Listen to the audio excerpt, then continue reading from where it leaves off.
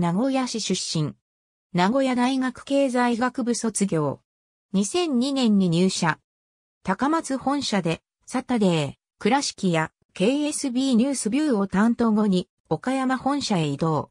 2005年4月から2007年3月まで KSB ヒルズメインキャスターを務める。アナウンス業務のほか、岡山、香川の複数の記者クラブにも所属し、取材もしていた。2010年に高松本社報道制作ユニットへ移動となった。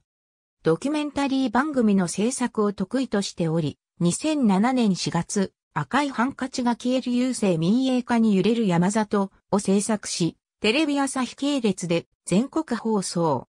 瀬戸内の色彩パリで輝く制作。テレメンタリー2007年度優秀賞を受賞する。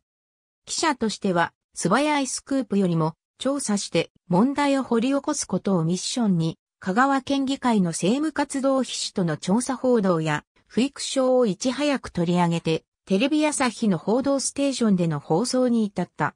2016年4月から2019年6月まで、KSB スーパー J チャンネルメインキャスターを務める。2017年にアンアナウンサー賞を KSB 初の受賞。